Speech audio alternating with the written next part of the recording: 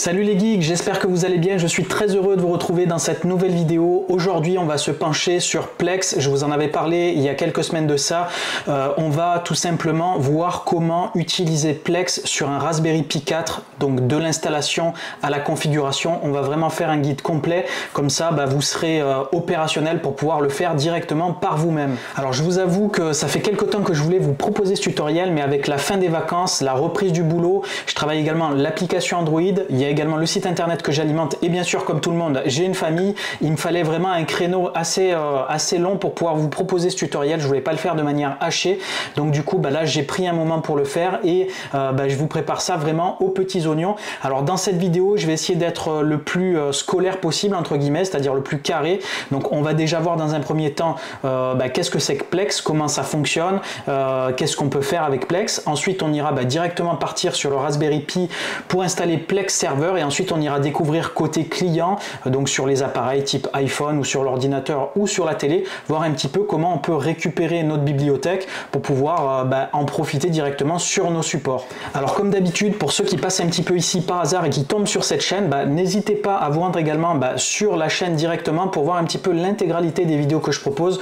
Je propose vraiment des contenus un petit peu variés sur l'univers des geeks, donc il y a des tutoriels comme ça, il y a des découvertes de produits, on parle cinéma, on parle jeux vidéo. Bref, ici c'est une chaîne pour les geeks, donc si vous avez un peu l'âme d'un geek et que vous êtes passionné par la tech, le cinéma, etc., n'hésitez pas à nous rejoindre. On est de plus en plus nombreux. L'idée, c'est de créer une communauté à la cool où on se prend pas la tête et euh, bah, ça me fera vraiment plaisir de vous compter parmi nous. Également associé à la chaîne, j'ai développé un site internet qui s'appelle la revuegeek.com et vous pourrez retrouver l'intégralité des vidéos de la chaîne, mais il y a également des contenus un petit peu exclusifs, il y a des actualités, il y a des bons plans, il y a des trucs et astuces que vous ne trouverez pas sur la chaîne, donc n'hésitez pas aussi à faire un petit tour. Ça soutiendra également mon travail et puis ça me motivera à le faire évoluer. Je travaille également donc sur l'application mobile comme je vous l'ai dit en introduction, donc euh, c'est un gros projet vraiment sur lequel je travaille et ça me ferait vraiment plaisir également bah, que vous puissiez y participer aussi. Allez, fini de blablater, il est temps d'en savoir plus sur Plex c'est parti.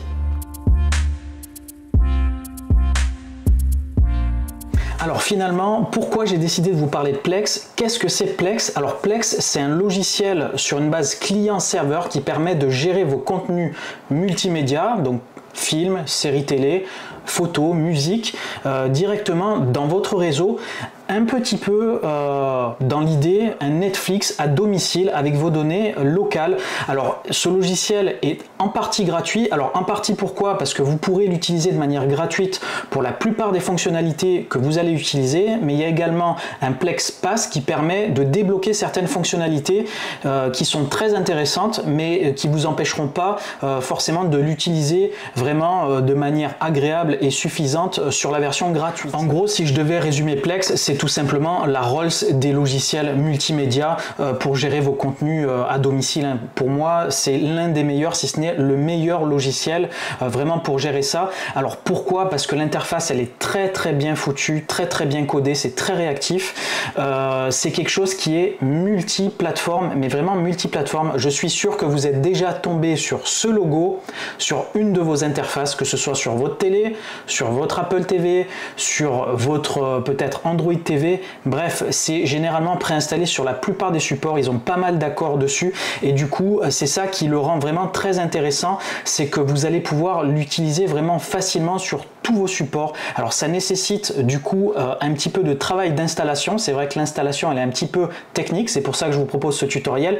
Mais une fois que vous l'aurez bien fait, le résultat sera vraiment au top et aux petits oignons. Alors ce qui est intéressant avec Plex, c'est qu'ils ont intégré pas mal euh, bah, de choses un petit peu tierces, notamment par exemple, ils ont intégré maintenant les grands services de streaming, Netflix, Disney, etc., pour pouvoir faire des recherches spécifiques, donc il y a vraiment une meilleure interaction avec ce genre d'outils, et vous aurez quelque chose un petit peu de centralisé finalement, plus besoin peut-être de partir euh, à droite et à gauche, vous aurez quelque chose vraiment de global. Ils ont également ajouté pas mal de trucs avec des chaînes gratuites, alors souvent c'est des trucs américains ou anglais, ça peut-être pas forcément vous intéresser, mais ça a quand même le mérite d'être là pour ceux qui apprécient ce genre de choses. Ce qui est intéressant aussi, c'est que vous allez pouvoir facilement rechercher vos contenus euh, par acteur, par style, par thème. Bref, il y a un scrapper dedans à l'intérieur, ce qu'on appelle un scrapper, qui va aller récupérer en fait les métadonnées des films, les jaquettes, etc. Donc vous aurez vraiment un truc super intéressant. Euh, aussi, ce qui est intéressant, c'est que vous avez euh, une synchronisation au niveau de tous vos appareils. Donc par exemple, si vous voulez, vous allez commencer à lire un film sur par exemple la télé, si vous allez euh, une autre télé dans une autre pièce ou si vous avez par exemple un mobile ou autre, vous allez pouvoir reprendre la lecture où vous en êtes arrêté.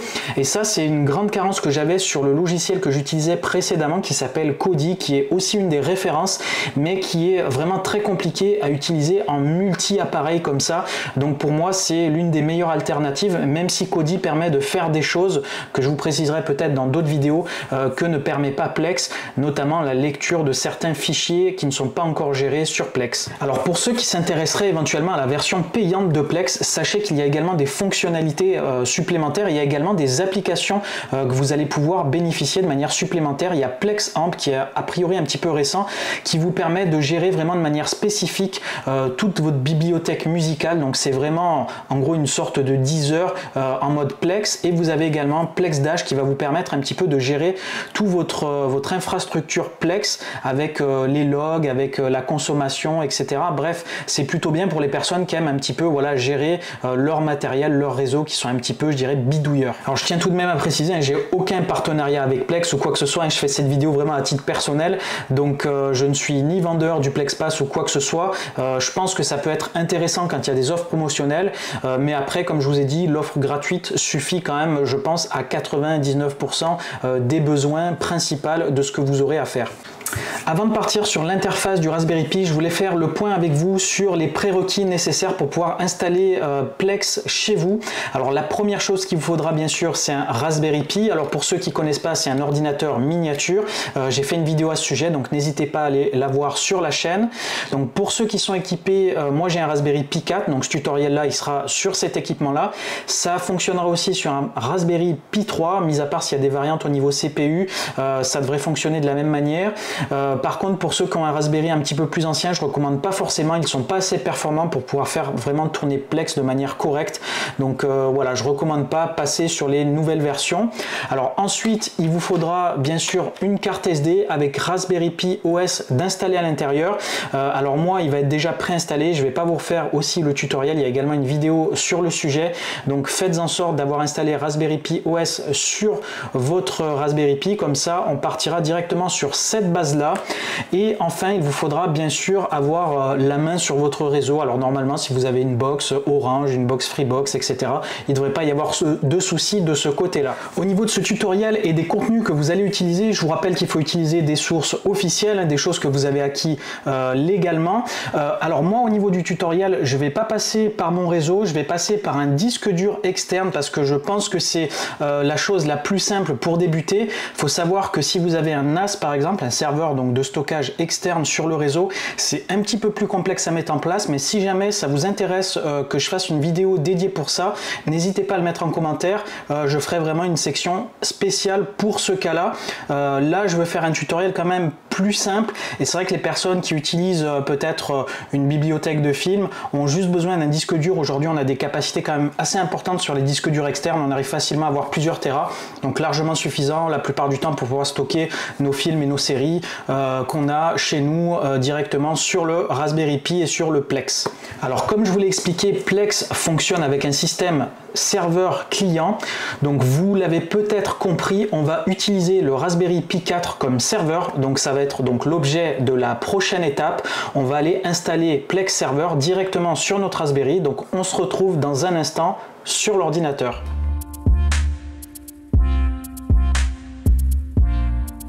Voilà donc sur l'interface de mon Raspberry Pi. Donc j'ai utilisé un logiciel de prise en main à distance pour pouvoir y accéder directement depuis mon PC sous Windows. Alors je vais pas vous expliquer comment ça se passe, c'est relativement facile. J'en avais parlé dans la précédente vidéo, mais en gros ici, hein, si je réduis la fenêtre comme ça, vous voyez que je me trouve sur mon Windows. Alors là ici, la première chose à faire, ça va être de brancher votre disque dur au Raspberry et euh, si vous l'avez branché, vous devriez le retrouver ici dans vos périphériques euh, supplémentaires. Donc là, qu'on va faire, on va le déconnecter pour commencer. Alors maintenant qu'on vient de déconnecter notre disque dur, euh, la première chose à faire, euh, ça va être de rendre accessible ce disque pour que Plex puisse accéder à son contenu, donc tout ce qui va être film, série, musique, etc.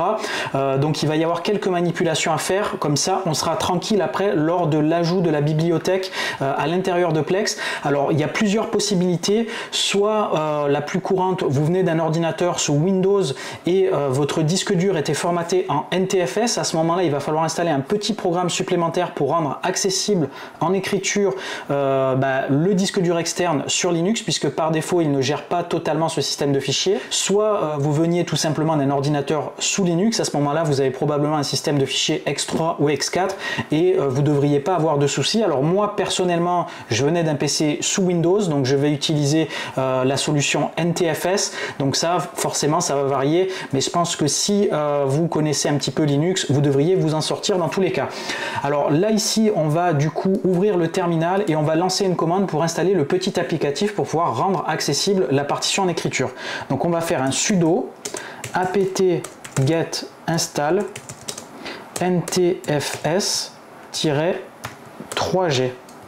Donc moi, c'était déjà installé sur Raspberry Pi OS par défaut. Il est possible que ce soit le cas pour vous aussi, mais dans tous les cas, si ce n'était pas le cas, vous verrez euh, l'installation se faire et donc on va pouvoir passer à la suite. Alors à présent, pour pouvoir qu'on crée le point de montage euh, avec les infos correctement renseignées, il va falloir retrouver le chemin exact de votre disque dur externe. Donc pour ça, il y a une commande assez simple qui permet euh, de voir un petit peu les périphériques qui sont connectés au niveau du stockage. Donc on va taper un sudo BLK ID et là ici, vous avez l'ensemble en gros hein, euh, des, disques qui sont retrouvés ou des clés, etc.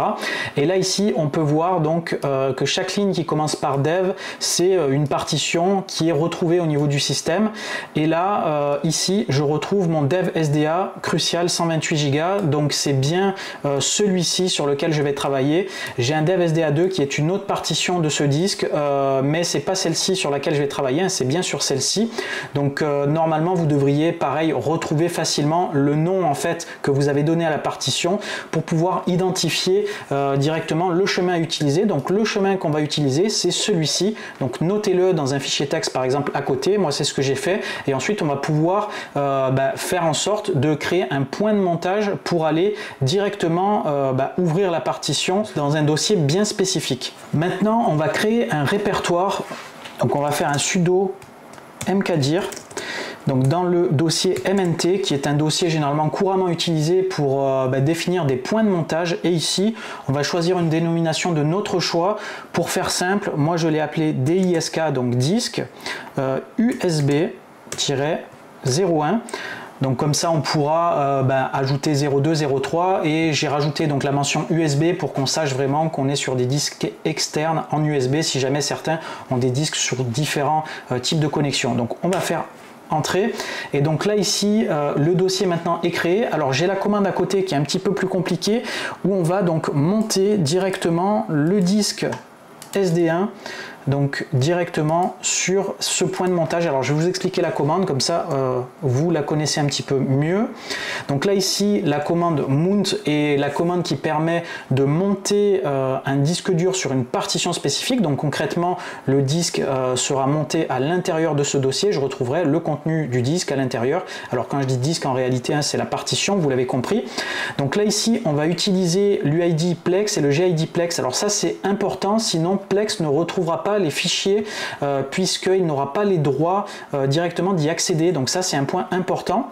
Donc ensuite on retrouve bien mon dev SDA1 donc qui est ici mon disque crucial et je veux qu'il soit monté sur mon MNT disque USB 01 et donc là vous faites entrer et là logiquement si vous faites un ls donc MNT disque USB 1 ici je retrouve donc mes données directement accessibles ici. Donc ça, une fois que vous l'avez monté, euh, si vous ne redémarrez pas votre, euh, bah, votre Raspberry, il va rester comme ça permanent connecté. Si jamais vous n'avez pas envie de retaper cette longue commande à chaque redémarrage, sachez qu'il y a une possibilité en modifiant le fichier fstab. Alors c'est un fichier assez courant sur Linux qui gère les points de montage. Alors attention, si vous modifiez ce fichier et qu'il y a une erreur, votre Raspberry Pi risque de ne pas redémarrer correctement. Vous allez être totalement bloqué. Il faudra alors enlever la carte SD, la connecter sur un autre ordinateur et remodifier ce fichier, le corriger pour pouvoir redémarrer correctement. Euh, alors il n'y a rien de fatal mais c'est quand même un petit peu galère à faire donc euh, voilà je vous conseille de faire attention sur cette partie là pour éviter d'avoir euh, bah, des problèmes. Alors pour modifier ce fichier on va taper un sudo nano etc fstab Et donc là ici on retrouve euh, l'intégralité des partitions, donc la partition boot, la partition donc principale. Et là ici donc en commentaire j'ai mis euh, la ligne de commande dédiée en fait euh, au point de montage qu'on a créé préalablement. Donc c'est cette ligne qu'il faudra taper. Donc je vous la mettrai en description. Sinon vous mettez pause et vous la retapez. donc là ici première partie donc c'est notre périphérique comme tout à l'heure. Là c'est le dossier qu'on a créé, c'est le système de fichiers qu'on utilise. Donc là c'est du NTFS-3G donc pour lecture-écriture. Là, on a bien donc euh, nos utilisateurs euh, Plex et ici on a un no auto. Alors ça c'est important, euh, ça évite de monter la partition automatiquement lors du démarrage. Il faudra le faire manuellement, mais la commande sera beaucoup plus courte, mais ça va vous éviter effectivement si vous débranchez par exemple le disque dur d'avoir à chaque fois votre Raspberry Pi planté.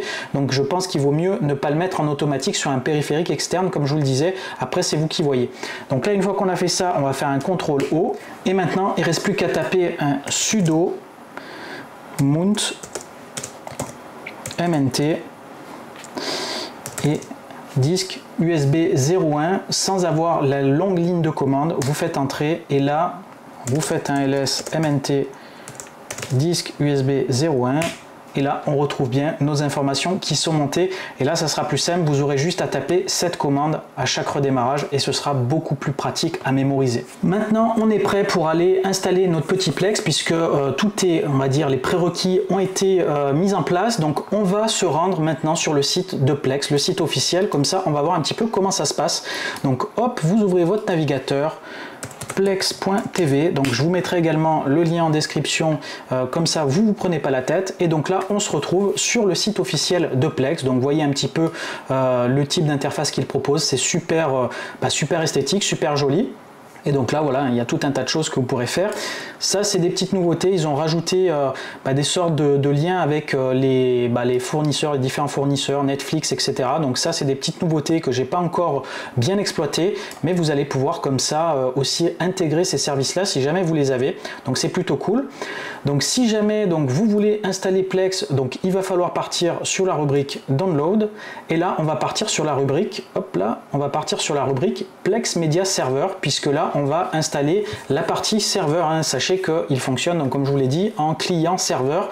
Et donc le Raspberry Pi fera office de serveur. Alors là, ici, on va choisir directement euh, Linux. Et donc là, on va choisir la distribution et nous, donc, on va s'intéresser à cette version-là, donc la version Ubuntu Debian sur ARM V8. C'est euh, le processeur qu'il y a sur le Raspberry Pi 4. Alors, si vous avez un Raspberry un petit peu plus ancien, ça peut varier. Si vous avez un autre type d'appareillage également avec des processeurs Intel, il faudra prendre la version qui vous convient. Moi, je vais prendre cette version-là, donc ça va me télécharger un fichier .deb qu'on ira installer par la suite. Voilà, donc le fichier est téléchargé. Donc sur Raspberry Pi OS, deux possibilités pour pouvoir installer le paquet, soit vous double-cliquez dessus, vous aurez l'installateur euh, en mode bureau qui va euh, s'afficher et vous aurez juste à valider l'opération, soit vous passez par la console. À ce moment-là, il faudra se rendre dans le répertoire téléchargement, donc vous faites un CD téléchargement. Et ici, donc vous avez une commande qu'il faudra taper, donc sudo dpkg-i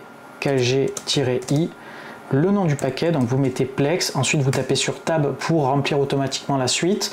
Vous faites entrer, ça équivaut à la même chose que l'opération précédente, mais seulement ça se fera directement depuis la console. Donc moi, je vais le faire directement depuis ici, donc ça prend environ 5 minutes. Donc vous double-cliquez, vous faites installer, vous vous laissez guider, il va vous demander de vous authentifier, donc c'est normal, vous tapez votre mot de passe, une fois que c'est terminé, euh, on se retrouve directement pour la suite. Si tout s'est bien passé au niveau de l'installation, il ne devrait y avoir aucun message d'erreur et ici dans le menu démarrer sur l'onglet son et vidéo, vous devriez retrouver Plex Media Server. Donc on va le lancer et euh, c'est votre navigateur Chromium qui va s'exécuter. Alors c'est normal, Plex fonctionne au travers d'une application web, donc ça fonctionne au travers du navigateur, ce qui est logique. Alors là, première chose, quand euh, vous lancez Plex, il vous propose de créer un compte. Alors c'est pas obligatoire, mais c'est quand même recommandé de le faire parce que pour avoir testé sur un compte non connecté, ça bug pas mal. Euh, je pense que c'est fait exprès. Il vous incite à créer des comptes pour après, bien sûr, vendre de l'abonnement. Alors moi, j'ai déjà un compte chez Plex. Si c'est pas le cas pour vous, bah, vous pouvez directement le créer sur cette étape-là. Donc moi, je vais faire continuer avec mon courriel. J'ai déjà mon compte ici qui ressort. Donc vous pouvez directement vous créer votre compte. C'est un petit peu pareil euh, au niveau de l'étape. Moi, je vais faire connexion et je vais arriver sur la première étape euh, de l'initialisation du serveur. Donc j'attends un petit peu que la page s'affiche. Voilà, donc là ici on se trouve sur euh, bah, la première étape de l'initialisation du serveur. Donc on va mettre j'ai compris. Et donc là ici on a un petit pop-up donc à propos du Plex Pass, donc vous l'avez compris, hein, comme je vous l'ai expliqué, euh, Plex dispose de forfaits euh, Plex Pass pour pouvoir améliorer les fonctionnalités, en donner un petit peu plus.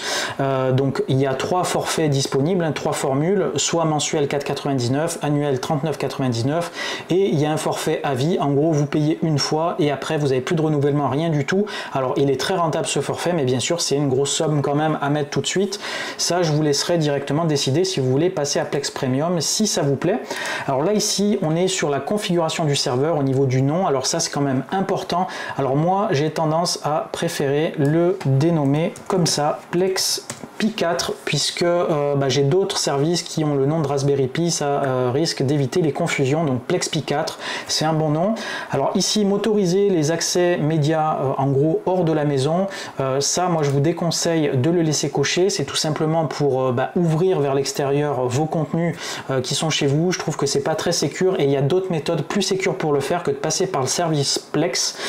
donc voilà, moi je le décoche c'est vous qui voyez, mais personnellement, je pense que c'est pas forcément nécessaire, surtout pour des contenus locaux, d'y accéder à l'extérieur. Donc ensuite, vous faites suivant. Donc là ici, euh, c'est le choix de la médiathèque, donc ça va prendre un petit temps là, avant d'y accéder. Donc là, on va pas euh, tout de suite configurer la médiathèque. Pourquoi? Parce qu'on va passer euh, par la phase de configuration. Donc on va le voir dans l'étape suivante. Vous pouvez le faire bien sûr à cette étape-là pour gagner du temps, mais vu que là c'est un tutoriel, j'aime mieux vous expliquer un petit peu où se trouvent les choses. Euh, ça sera quand même beaucoup plus pratique pour vous après à vous débrouiller tout seul puisque cet écran-là, on n'y a accès vraiment qu'une fois. Après, ça se passe directement dans les paramètres.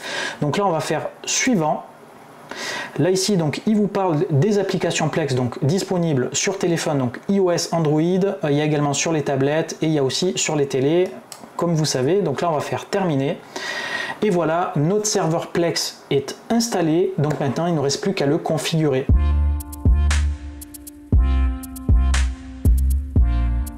Va maintenant attaquer la partie la plus intéressante mais aussi la plus compliquée, ça va être la configuration du serveur Plex, donc pour qu'on puisse ajouter bien sûr tous nos médias, etc. Alors avant de passer sur la partie compliquée, on va faire juste un petit tour euh, bah, de la homepage, de voir un petit peu quels sont les services qu'ils proposent par défaut, puisque bah, c'est bien quand même de savoir un petit peu euh, ce qu'on peut faire. Alors là ici, euh, sur la page d'accueil, vous avez bah, des bandes d'annonces qui sont affichées, donc c'est plutôt cool, ça vous permet de voir un petit peu l'actualité un petit peu des films qui peuvent euh, apparaître ici. Vous avez également bah, les films tendances, les trucs qui peuvent être intéressants, les contenus variés, hein, ça peut être des séries aussi, euh, les trucs un petit peu voilà qui sont tendances. Donc je sais pas sur quoi ils se basent, mais c'est des informations comme ça qui ressortent. Alors c'est des trucs qui sont disponibles sur des plateformes. Hein. Là par exemple vous avez The Mandalorian donc qui est euh, sur Disney+, etc. C'est pas forcément des trucs qui sont exclusives à Plex.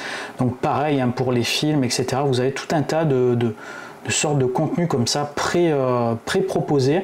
Alors ceux qui aiment pas avoir ce genre de truc intrusif euh, parce que ça vient de l'extérieur, euh, je peux comprendre. Donc bien sûr, tout ça se désactive. Alors je vais vous montrer un petit peu après comment ça se passe. Je vais juste vous faire le tour un petit peu ici des différents onglets et ensuite je vous montrerai comment les retirer. Alors là ici vous avez la watchlist. Alors ça en gros le principe c'est que par exemple vous allez ajouter des films que vous souhaiteriez voir et vous pourrez directement les retrouver euh, dans cet endroit ici. Donc là ici vous avez un petit euh, découvrez, donc euh, en gros bah, c'est les sorties, les films récents qui sortent etc. Donc ça c'est pareil, c'est des sources d'inspiration qui vont vous permettre après bah, de préparer vos contenus à voir éventuellement. Donc là ici, Movie and Shows, donc ça c'est euh, probablement des films qui sont disponibles sur Plex quand on a le Plex payant. Euh, donc c'est des trucs peut-être un petit peu de seconde zone. Alors je sais pas exactement quelles sont les conditions pour les voir. Bon de toute façon c'est peut-être pas forcément euh, en français, je l'ai jamais utilisé, je vous avoue. Donc ça m'intéresse pas vraiment. Et ensuite vous avez TV en direct, donc ça c'est tout un tas de chaînes pareil qui sont disponibles. je sais pas exactement comment elles sont disponibles, s'il faut des abonnements supplémentaires ou autre, ou que le Plex Pass suffit. Ça je sais pas du tout. donc là si ça vous agace ce genre de choses, bah, vous pouvez tout simplement euh, cliquer là et faire retirer l'épingle. Vous cliquez là, retirer l'épingle, ici aussi, tac, et tac. Comme ça ici, vous avez un truc vierge et vous pourrez les retrouver ici dans plus directement si jamais euh, vous voulez euh, bah, jeter un œil. Donc là, si vous voulez réduire le menu ici, hein, vous cliquez ici et hop, il va se réduire. Donc maintenant, comme vous le voyez, notre écran d'accueil est vide et on va pouvoir l'alimenter. Donc on va commencer déjà à voir les réglages et ensuite on partira sur l'ajout euh, des films et séries dans la bibliothèque. Alors là ici, si on commence par la partie haute ici, donc vous allez avoir toutes les informations concernant votre profil sur Plex. Alors ça, euh, bah, vous verrez directement, c'est pas très intéressant. Donc service en ligne ici, donc vous allez pouvoir désactiver ou activer certains services. Alors moi je les ai tous désactivés pour éviter d'avoir des trucs intrusifs. J'ai pas besoin d'avoir des, accès réseau ou autre. Donc tout ça généralement moi je le désactive. Donc à vous de voir si ça vous intéresse ou pas. Donc appareil autorisé ici, vous pouvez jarter par exemple des comptes qui se seraient connectés, que vous voudriez par exemple couper l'accès. Donc c'est vraiment toutes les sessions qui se retrouvent ici. Watchlist, donc c'est ce qu'on a parlé tout à l'heure. Donc là, voilà, on peut générer l'URL donc pour avoir une liste de, de, films à voir. Bon, ça m'intéresse pas spécialement. Donc Webhook également, ça c'est pour le PlexPass, donc ça va pas nous intéresser. Service de streaming, donc vous pouvez ici cocher si vous voulez donc des, euh, des sources, euh, par exemple Netflix, Disney+, etc. Si jamais vous voulez les retrouver après dans, euh, bah, dans l'interface qu'on a vu tout à l'heure. Donc Plex Home ici, donc euh, bah, ça va concerner euh, la possibilité d'ajouter des invités ou autres à votre Plex.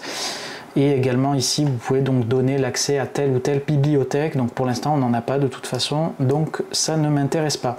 Alors là, ici, on est vraiment sur le vif du sujet, on commence. Donc là, moi, la chose que j'ai fait, je suis passé sur le format 24 heures pour avoir euh, au niveau du format ben, le, bon format d'horaire. Ça me paraît euh, intéressant. Là, ici, ben, vous pouvez, si vous voulez, vous connecter automatiquement. Donc ça, c'est vous qui voyez au niveau de la sécurité. Donc là, il n'y a pas d'autres points que j'avais vu de particulier. Alors ici, au niveau de la qualité, euh, donc là ici par défaut euh, c'est qualité vidéo qui est à 2 mégabits. Donc vous pouvez la laisser comme ça ça pompe pas trop. Lire les vidéos les plus petites en qualité originale. Donc euh, comme ça, ça on va dire ça consomme pas trop spécialement euh, puisqu'elles sont petites. Alors là si vous voulez vous pouvez ajuster automatiquement mais je pense que ça doit consommer quand même pas mal. Et là ici en diffusion à domicile donc utiliser les paramètres par défaut. Et les paramètres par défaut c'est qualité maximale. Donc vous pouvez le laisser comme ça puisqu'à la maison on veut la qualité au top du top donc là ici débogage, je vous recommande de le désactiver. C'est à activer vraiment si euh, vous avez des problèmes ou des choses que vous souhaiteriez euh, corriger, des plantages ou autres. Euh, sinon il faut le désactiver. Dans la partie lecteur ici, vous allez pouvoir bah, changer la couleur des sous-titres, en haut, en bas, la taille, etc. Donc ça, en fonction de vos préférences, vous pourrez directement les ajuster. Euh, donc bande d'annonce de cinéma avant les films, donc ça, ça doit être un peu relou d'avoir à chaque fois les bandes d'annonce. Donc moi, ça m'intéresse pas. Mais si vous voulez être comme au cinéma, vous pouvez l'activer. Donc ensuite ici, donc là, vous avez un petit sélecteur si vous avez plusieurs serveurs Plex, puisque vous pouvez en gérer plusieurs. Là, moi, j'en ai qu'un seul, effectivement. Donc là, on va passer sur le tableau de bord. Donc ça ici, ça va être la liste euh, bah, de tous les périphériques qui lisent. Donc si par exemple, vous avez un iPhone qui lit un film, si vous avez un ordinateur en parallèle, vous verrez vraiment toutes les lectures en cours. Donc là ici, dans euh, Alerte, c'est tous les événements un petit peu qui se sont passés au niveau euh, de votre Plex, donc c'est une sorte de, log. Hein. Là ici, dans Conversion, donc ça va être tous les médias qui vont être bah, en gros convertis sur des formats un petit peu optimisés. Donc là, ensuite ici, dans Général, vous allez avoir les informations concernant la mise à jour de Plex, donc vous allez pouvoir mettre à jour directement ici votre serveur Plex. Vous avez également ici donc le nom que vous pouvez modifier. Alors ici, moi je vous recommande de désactiver l'envoi euh, des rapports de crash à Plex. Pas besoin de renvoyer des informations, hormis si vous voulez vraiment les aider à développer, si vous voulez euh, utiliser par exemple des canaux bêta ou autres, euh, ça il n'y a pas de souci, mais sinon je pense que c'est mieux quand même de le désactiver.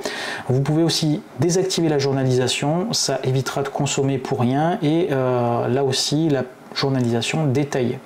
Bien sûr, si vous avez, si vous préférez activer la journalisation, vous voulez avoir des infos, s'il y a des bugs ou autre, c'est quand même intéressant de l'activer, mais sinon, je vous le déconseille.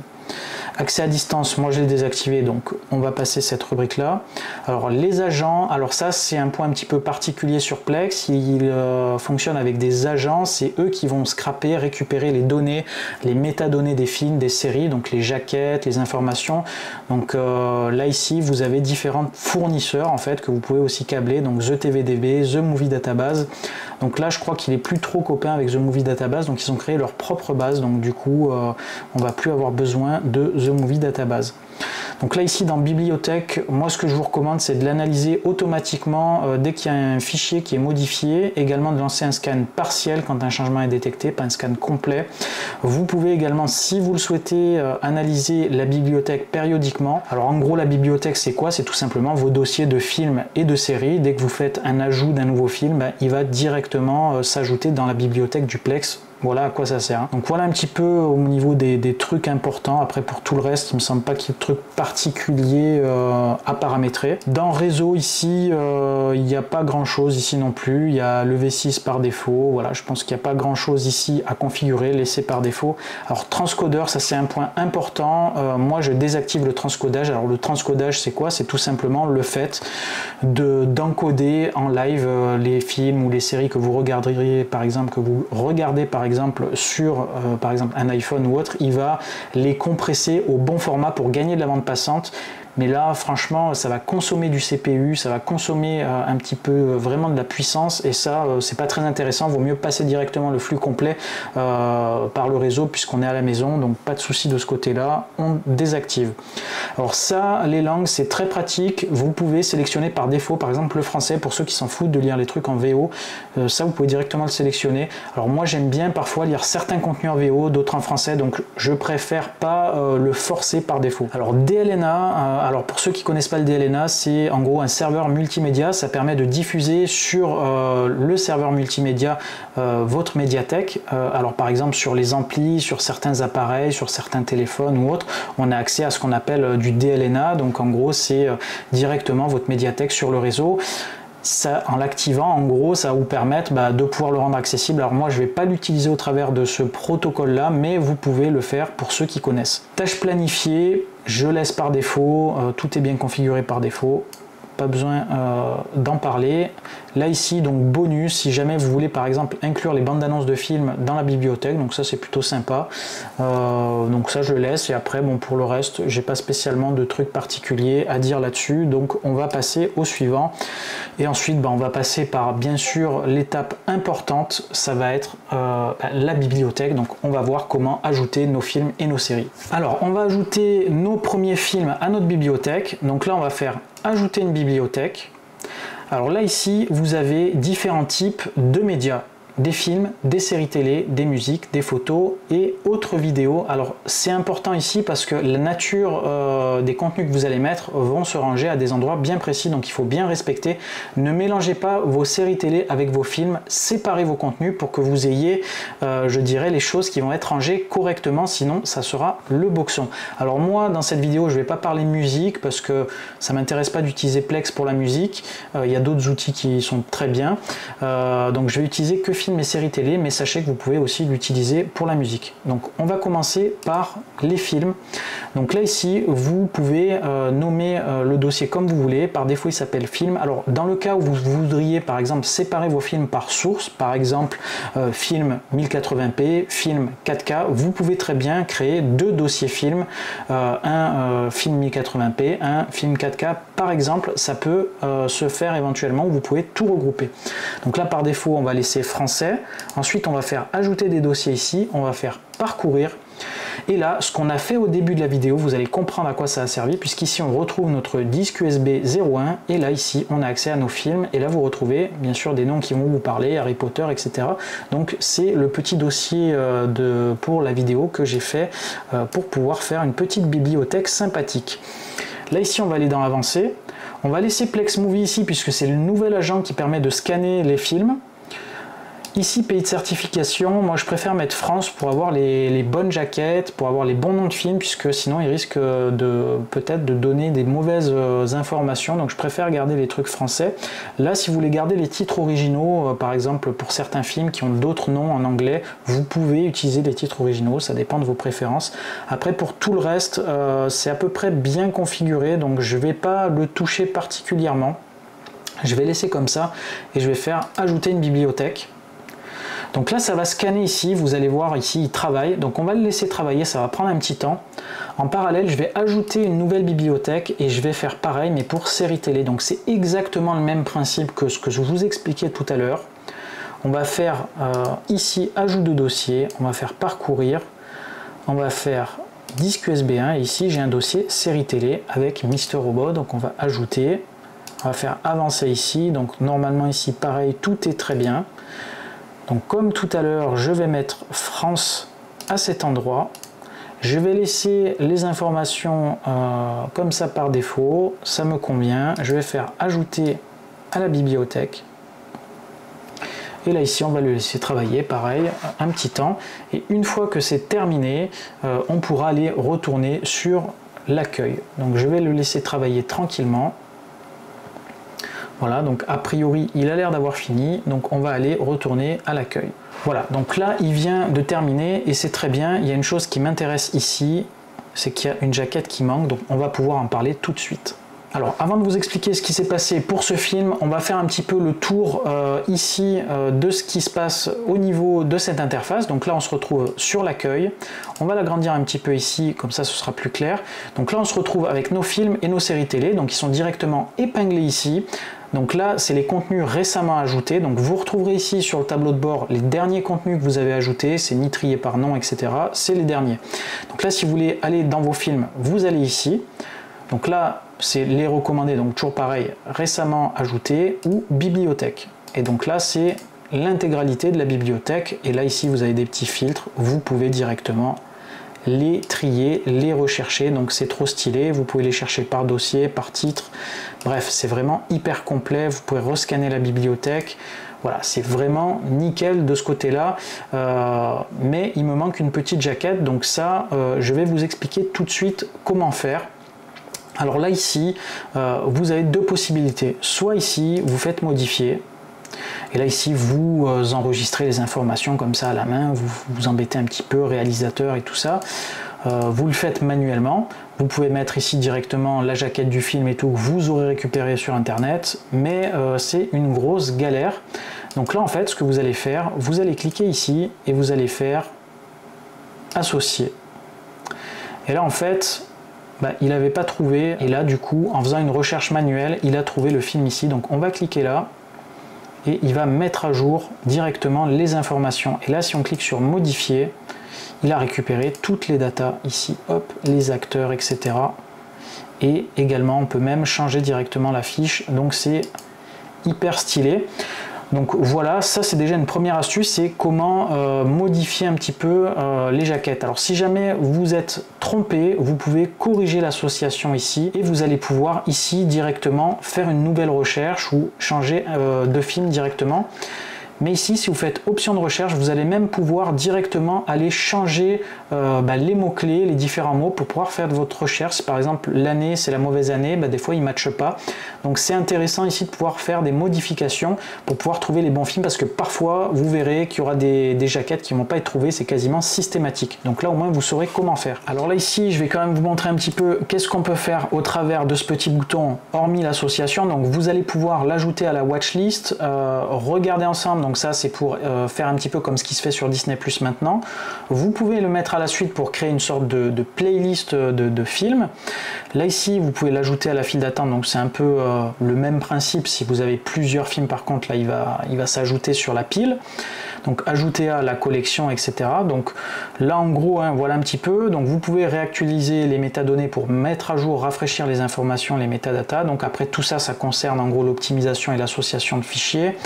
Vous pouvez donc donner euh, l'accès à un film à un utilisateur spécifique si c'est votre utilisation et vous avez même voir l'historique de lecture, donc savoir qui a lu quoi, quand. Ça vous permet de dire ah tiens j'ai vu quand ce film et tout. Bref, c'est super pratique. Donc sur la partie série TV, c'est exactement le même principe, euh, à la différence que là, vous avez des épisodes. Donc là, vous avez bah, directement, soit vous avez la série ici, donc Mister Robot. Donc là, on se retrouve avec en gros euh, bah, le résumé en gros de la série. Vous avez ici la liste des saisons, vous avez les acteurs, vous avez tout un tas d'informations qui paraissent. Et ce qui est intéressant ici, c'est que vous allez pouvoir par exemple aller directement dans la saison 1 et vous allez retrouver l'intégralité des épisodes avec bah, les différentes informations concernant les épisodes. Donc là, vous avez l'épisode 2 par exemple. Et vous avez donc le détail de l'épisode 2, voilà, c'est vraiment complet et moi c'est vraiment ce que j'adore, c'est je trouve ça trop stylé, donc c'est super intuitif, c'est bien pensé, c'est visuellement agréable. Pour moi, c'est vraiment une très très bonne interface. Alors, petit truc aussi que vous pouvez faire ici, vous avez la possibilité bah, de changer la taille également euh, des vignettes comme ça, donc ça aussi c'est super stylé. Et là ici, bah, si vous retournez dans la bibliothèque, vous avez directement donc les informations ici. Alors un truc qui est cool que je vous ai euh, pas montré, si vous allez directement par exemple dans le film ici, au même principe que les séries, bah, vous avez les acteurs ici, et si vous cliquez sur Daniel Radcliffe par exemple, vous allez retrouver l'intégralité des films de votre médiathèque euh, qui sont euh, interprétés par Daniel Radcliffe. Donc ça, c'est super stylé. Et après, vous avez des informations supplémentaires euh, qui sont pas forcément liées à votre bibliothèque, mais qui sont liées directement aux métadatas qui ont été récupérés. Hein. voilà, les films qui sont sortis avec Daniel Radcliffe. Donc ça peut aussi vous faire découvrir des films que vous n'auriez jamais vus, que vous ne connaissiez pas. Et ça, voilà, c'est tout ce qu'on aime un petit peu quand on est passionné de voir découvrir des nouvelles choses. Et là, carrément, bah, vous avez comme ça différents trucs. Bref, c'est vraiment super stylé. Donc maintenant qu'on a vu comment bah, ajouter des films, gérer un petit peu notre médiathèque, etc., on va voir tout simplement comment utiliser Plex sur notre ordinateur ou sur notre télé par exemple. Donc on va partir directement sur l'ordinateur pour voir comment euh, on peut profiter de nos médiathèques directement depuis euh, d'autres appareils.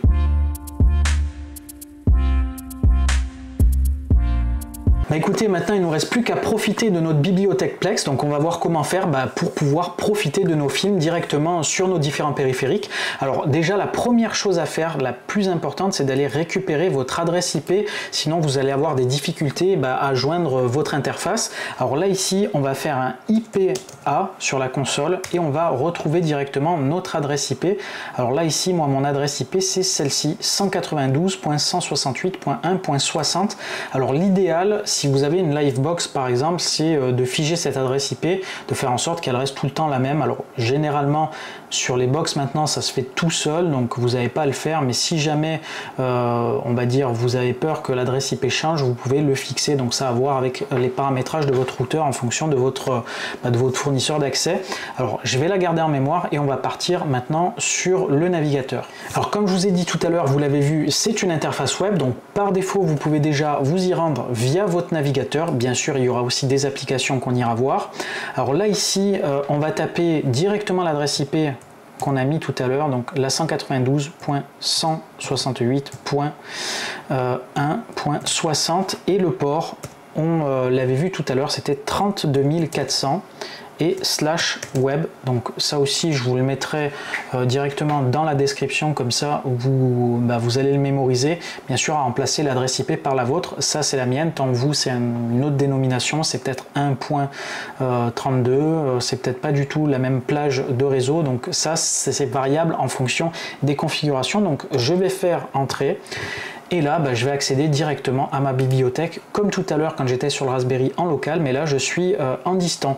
Donc là, du coup, on peut voir que c'est un petit peu plus euh, bah, dynamique, un petit peu plus sympa, puisque bah, Là, il y a un peu plus de, puissance pour afficher les images, etc. Donc là, bah, je peux me mettre en plein écran. Donc vous euh, voyez que mon Google Chrome, d'ailleurs, entre parenthèses, est violet. C'est la nouvelle version de euh, Google Chrome qui permet comme ça de choisir des couleurs. Alors là, je vais juste vous montrer donc, le début d'un film. Par exemple, vous faites lecture comme ça et directement, vous allez pouvoir euh, découvrir votre film. Ça va fonctionner correctement. Et là, vous voyez, pas de lag, rien du tout, hein, ça marche nickel et j'ai le son correctement. Donc voilà, je vais mettre pause et je vais euh, directement réduire le film, hop, on va mettre stop. Et ce qui est intéressant, c'est qu'on va pouvoir reprendre sur nos différents équipements là où on s'est arrêté, et c'est ça qui est intéressant, c'est vraiment cette euh, synergie entre les différents postes, ce que je n'ai pas avec Kodi, donc pour ceux qui connaissent, euh, mon ancien, mon autre lecteur, entre guillemets, multimédia, qui est super, qui gère encore plus de formats que ça, mais qu'au niveau de l'interface, c'est quand même bien en dessous que ce que propose Plex. Alors là, euh, bah, ça va fonctionner comme ça pour vous connecter euh, depuis votre ordinateur. Donc là, je vais pas euh, faire le tour, on a déjà fait le tour, c'est exactement la même chose que tout à l'heure. Donc je vais quitter ça et maintenant, je vais vous montrer une autre solution pour pouvoir profiter sur l'ordinateur, c'est via euh, l'application. Vous cherchez Plex dans le Microsoft Store directement et vous pouvez l'installer euh, et vous aurez droit du coup à une application qui sera peut-être un petit peu mieux foutue que sur directement votre navigateur. Donc on va l'installer et on va voir un petit peu comment, euh, comment ça fonctionne mais globalement ça va être un petit peu pareil que sur le navigateur mais ça sera vraiment tout intégré euh, dans l'application. Ça sera plus facile à lancer etc que de mémoriser cette adresse un petit peu, euh, un petit peu compliqué alors voilà on va le laisser s'installer correctement. Voilà, donc là c'est terminé. Alors attention à bien prendre Plex for Windows et pas Plex Server Petite, euh, petite particularité, sinon il va vous installer le serveur sur votre ordinateur et c'est pas ce qu'on souhaite, on souhaite nous uniquement le client. Donc ça c'est vraiment un point important. Donc là, il m'a installé l'application. Donc on va aller la chercher directement ici. On va faire Plex. Hop, on va l'ouvrir. Autoriser. je vais juste déplacer ma fenêtre qui s'est mis sur le mauvais écran. Voilà. Et donc là, hop, parfait, on va se connecter. Donc il va me demander de me connecter euh, sur mon navigateur donc euh, directement, donc il s'est ouvert sur l'autre écran. Donc bien sûr vous mettez euh, vos identifiants et vos mots de passe que vous aviez créés. Hop,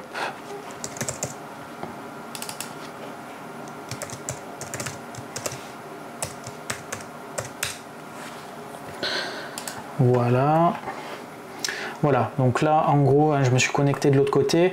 Donc ben, on a accès ben, concrètement à euh, la même interface que tout à l'heure, mais là on va pouvoir ben, euh, directement personnaliser un petit peu notre, notre interface puisqu'elle s'est remise un petit peu par défaut. Donc vous pouvez, euh, comme tout à l'heure, directement faire les différents changements. Euh, là, pareil, au niveau des épingles, tout est retiré en fait. Donc sur chaque client que vous connecterez, il va falloir faire cette petite gymnastique de devoir retirer ce qui vous intéresse pas. Donc on va le faire directement. Alors là, vous voyez, il y a un petit onglet différent, téléchargement. Euh, visiblement, alors ça, ça doit être nouveau parce que je ne l'avais pas vu dans les années précédentes. Vous avez la possibilité de télécharger en fait directement sur votre ordinateur le contenu je suppose qu'il doit y avoir un bouton pour ça, ou c'est peut-être avec le PlexPass, vous allez pouvoir donc du coup récupérer, ouais voilà, c'est avec le PlexPass, donc récupérer en fait les contenus pour pouvoir les lire directement sur le sur l'appareil, donc ça sera du coup beaucoup plus performant en termes de euh, je dirais, de, réseau, etc. Il n'y aura pas cette latence-là.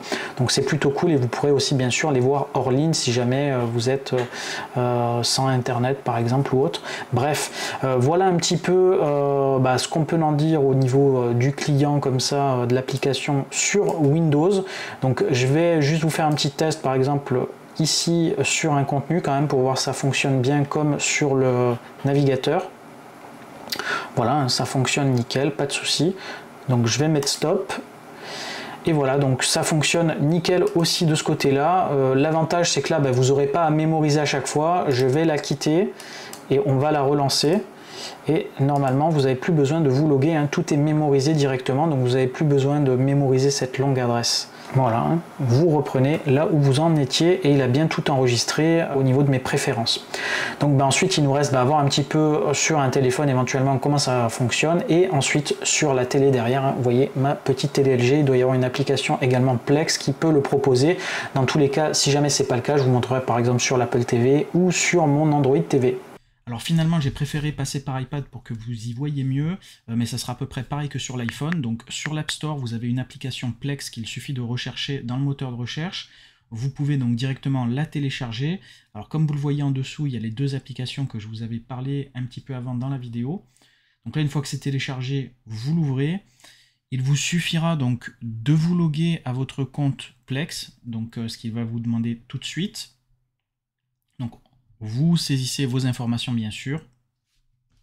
Une fois que vous êtes connecté, il va vous demander une autorisation pour le réseau local, donc vous l'acceptez, vous mettez euh, oui. Ensuite, là ici, vous allez pouvoir personnaliser les sources que vous allez afficher sur euh, la home page, donc vous pouvez désactiver ce qui ne vous intéresse pas. Alors, truc plutôt cool sur euh, iPhone et sur iPad, vous pouvez changer d'icône. Alors là, on se retrouve du coup avec exactement la même bibliothèque qu'on avait découvert tout à l'heure euh, sur l'ordinateur. Donc, c'est ce que je vous disais qui est plutôt cool. Donc là, ici, vous avez une fiche film avec toutes les infos euh, nécessaires qui sont intéressantes. Donc, les acteurs, les histoires, etc. Donc si jamais donc, vous voulez voir un petit peu ce que ça donne en lecture, on va faire un petit test. Alors là ici, euh, il y a des petites limites bien sûr parce que j'ai pas le Plexpass. Et voilà, donc une fois qu'on lance le film, ça marche nickel, pas de lag. Et euh, il y a même le son qui marche correctement. Vous avez des petits boutons comme ça pour aller switcher 30 secondes en avant, etc. Donc ça aussi c'est pratique. Donc là ici on peut activer ou pas les notifications si jamais vous voulez euh, avoir un peu plus d'infos à propos bah, des films et autres que vous avez sur votre Plex. Donc ensuite également bah, vous avez la partie ici série télé. Donc voilà un petit peu ce que ça donne pour les séries. Vous retrouvez bah, l'intégralité des épisodes de la saison. Voilà c'est plutôt euh, cool et pratique. En gros voilà ce que ça donne Plex sur iPad. Et enfin pour terminer on se retrouve sur mon Nvidia Shield donc Android TV pour utiliser Plex. Donc il est préinstallé à l'intérieur. Donc pour vous connecter, il vous suffit de cliquer sur connexion. Là, vous devrez ensuite sur votre ordinateur, votre téléphone, suivre le lien qu'il vous indique et copier le code à l'écran. Euh, ça va euh, vous éviter d'avoir à saisir vos identifiants de connexion. Euh, une fois que vous l'avez fait, le service va se connecter automatiquement. Donc, alors là, on est en train de se connecter. Donc là, une fois que vous êtes connecté, bah, comme tout à l'heure, vous retrouvez bah, quelque chose qui vous est familier, votre bibliothèque. Alors là, sur la partie gauche, vous avez des fonctionnalités, notamment un moteur de recherche pour aller rechercher vos contenus. Ensuite, ici, vous avez bah, tout un tas euh, de petits liens comme on a vu préalablement, watchlist, euh, votre catalogue et il y a également euh, Live TV, Movies and Shows et Découvrez. Donc si jamais vous voulez les retirer, sachez que c'est possible. Il y a trois petits points sur la gauche, je ne sais pas si vous voyez. Vous cliquez dessus, vous faites retirer de la barre latérale et vous faites ça pour tous les, tous les liens qui ne vous intéressent pas. Comme ça, vous avez une interface vraiment qui correspond à ce que vous voulez. Donc là, bah, si on va voir un petit peu les films, bah, on a euh, notre John Wick qui est euh, prête à continuer. Donc on a vraiment un suivi de ce qu'on avait vu. On retrouve les informations qu'on avait vues préalablement avec les acteurs. Donc un petit extrait du film pour vous montrer que ça fonctionne parfaitement et que c'est quand même relativement réactif. Voilà, donc euh, la scène reprend où plus ou moins on s'était arrêté. Et donc là ensuite, hein, il vous suffit de mettre pause, de mettre stop. Vous avez gestion de chapitrage, vous pouvez également euh, voir ce qu'il y a actuellement dans la liste d'attente. Bref, c'est super bien foutu.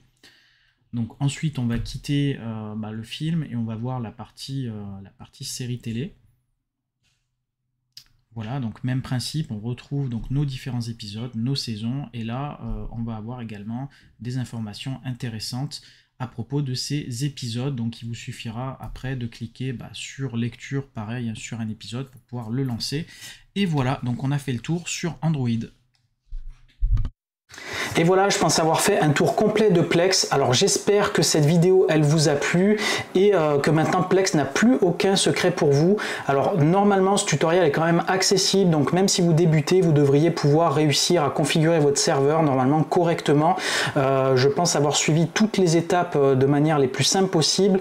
J'ai essayé de vous éviter toutes les difficultés que vous pourriez rencontrer, mais dans tous les cas, si jamais vous arrivez à une difficulté ou vous galérez ou quoi que ce soit, n'hésitez pas à poster un commentaire, je manquerai pas de vous aider. En parlant de commentaires, justement, je vous en avais parlé dans la vidéo pour ceux qui souhaiteraient rattacher par exemple une bibliothèque depuis un serveur NAS, par exemple un NAS Synology, n'hésitez pas aussi à me le demander en commentaire en fonction du nombre de demandes, je vous ferai probablement une vidéo dédiée sur le sujet. Concernant les personnes qui voudraient me suivre ou qui souhaiteraient bah, découvrir d'autres vidéos, n'hésitez pas à vous abonner à la chaîne, ça soutient énormément mon travail et puis euh, vous découvrirez les prochaines vidéos qui seront publiées.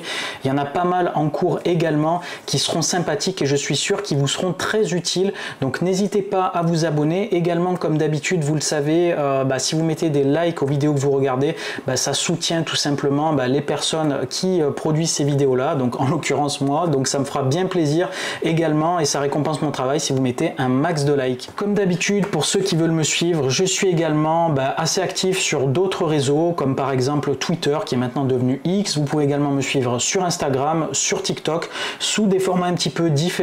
Euh, vous verrez, c'est un petit peu différent que sur YouTube. Et également, vous pouvez me retrouver sur mon site internet, larevuegeek.com. Donc, c'est le site que je développe et que j'anime par mes soins, où vous trouverez des bons plans, où vous trouverez également des actualités, des trucs et astuces, l'intégralité des vidéos de la chaîne, il y a un forum. Bref, c'est un site qui est fait pour vous. Donc, n'hésitez pas à vous y rendre et il est totalement gratuit. Euh, vous pourrez trouver toutes les informations que vous avez besoin vous pouvez même participer en commentaire. Donc, je compte sur vous. Sur ce, il est temps de vous laisser. Je vous dis à très bientôt pour de prochaines vidéos. Ciao les geeks